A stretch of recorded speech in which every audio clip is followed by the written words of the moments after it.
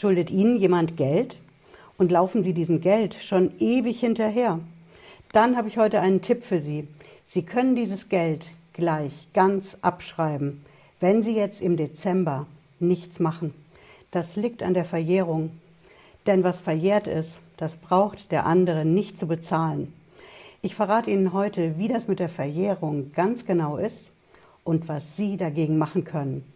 Ganz ohne Anwalt und diesmal brauchen Sie auch kein Rechtsdokument aus unserem Shop bei den Pepper Papers. Bleiben Sie dran, bis gleich.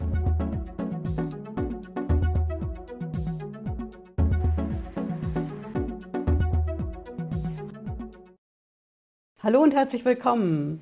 Ich bin Patricia Lederer, ich bin Rechtsanwältin in der Frankfurter Steuerrechtskanzlei TexPro. Ja, wie ist das mit der Verjährung so ganz genau? Welche Verjährung tritt denn jetzt Ende Dezember dieses Jahr ein, wenn Ihnen jemand Geld schuldet? Es gibt ja bei uns im deutschen Recht unglaublich viele Verjährungsfristen, aber die wichtigste für Sie zu wissen ist die mit den drei Jahren. Das ist die Frist, die auf jeden Fall gilt wenn Ihnen jemand Geld schuldet. Ja, es gibt längere Fristen bei uns in Deutschland, auch für die Verjährung, aber die drei Jahre, das ist die kürzeste und deswegen würde ich mich nach der richten. Ich zeige Ihnen auch, wo Sie das im Netz finden. Das steht in unserem bürgerlichen Gesetzbuch, dem BGB. Und da finden Sie das in dem Paragraphen 195, der nennt sich regelmäßige Verjährungsfrist. Und da finden Sie eben hier die drei Jahre. Und das bedeutet im Endeffekt, wenn Sie jetzt hingehen, Ende 2022, dann würde ich mir anschauen, wenn Ihnen jemand Geld schuldet, von wann ist das? Wann war die Rechnung dafür? Wann war der Vertrag?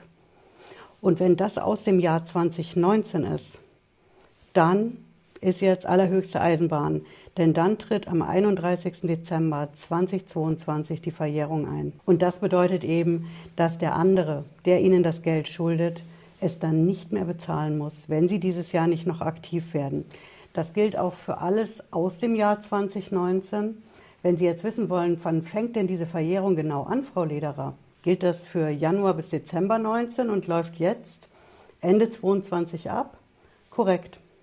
Die Verjährung gilt für das ganze Jahr 2019. Die beginnt immer zum Ende eines Jahres.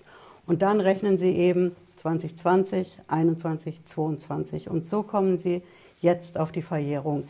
Ich zeige Ihnen auch dafür die Quelle und Sie wissen es. Ich habe es ja wie immer in der Videobeschreibung verlinkt, die ganzen Quellen aus dem Video, wenn Sie die in Ruhe nachschauen wollen. Sie sehen hier ein bisschen weiter im Paragraphen 199 nochmal im BGB. Da steht es gleich am Anfang, dass die regelmäßige Verjährungsfrist, eben diese drei Jahre, beginnt mit dem Schluss des Jahres. Hier steht es, in dem der Anspruch entstanden ist. Es ist also egal, wann die Rechnung ist, der Vertrag, Januar, Februar, Juni oder Dezember. Die Verjährung beginnt immer am 31. Dezember des Jahres, in dem Sie die Rechnung gestellt haben oder den Vertrag gemacht haben. Damit kommen wir zum zweiten Punkt, denn ich habe Ihnen ja versprochen, dass ich Ihnen auch verrate, was Sie tun sollten, damit eben diese Verjährung nicht passiert und Sie das Geld eben nicht abschreiben müssen. Sie können die Verjährung stoppen. In der Rechtssprache, da nennen wir das die sogenannte Hemmung der Verjährung. Und das bedeutet im Endeffekt, dass Sie eine bestimmte Aktion dieses Jahr noch machen müssen und dann läuft die Verjährung nicht weiter. Und die Gegenseite kann sich nicht darauf berufen und muss Ihnen das Geld eben trotzdem bezahlen. Auch hier zeige ich Ihnen nochmal die Quelle im Netz. Das finden Sie auch noch mal ein bisschen weiter hinten, nach wie vor im bürgerlichen Gesetzbuch und das ist der Paragraph 204. Da finden Sie das in der Überschrift auch. Das ist die sogenannte Hemmung der Verjährung und zwar durch Rechtsverfolgung. Und genau das will ich Ihnen erklären. Denn wie hemmen Sie denn die Verjährung? Wie kriegen Sie die gestoppt? Reicht es da, demjenigen, der Ihnen das Geld schuldet, eine Mahnung zu schicken? Vielleicht auch eine zweite Mahnung, eine ultimative Mahnung dass sie andernfalls klagen. Was hemmt und stoppt die Verjährung so, dass sie nach wie vor zu ihrem Geld kommen? Das sind auf jeden Fall nur zwei Dinge, nämlich die Klage oder der Mahnbescheid. Mahnbescheid, nicht Mahnung. Eine Mahnung stoppt die Verjährung nicht, sondern eben, Sie müssen auf jeden Fall zum Gericht gehen. Entweder Sie nehmen sich einen Anwalt und verklagen die Gegenseite dann viel Spaß, dass Sie das jetzt noch bis zum Jahresende schaffen. Oder Sie machen die schnellere Lösung. Und das ist der Mahnbescheid. Dieser Mahnbescheid, der ist kein Hexenwerk, sondern er ist ein bisschen komplizierter als eine Mahnung. Klar, es ist ein Dokument, was Sie beim Gericht einreichen müssen. Aber der Vorteil beim Mahnbescheid ist, Sie können das alleine machen. Sie brauchen dafür keinen Anwalt, egal um wie viel Geld es geht. Sie können es selber machen und ich verrate Ihnen heute auch, wie das geht. Dieses Video heute, das gibt es im Doppelpack, denn Sie wissen jetzt genau, was für eine Verjährung Ihnen droht.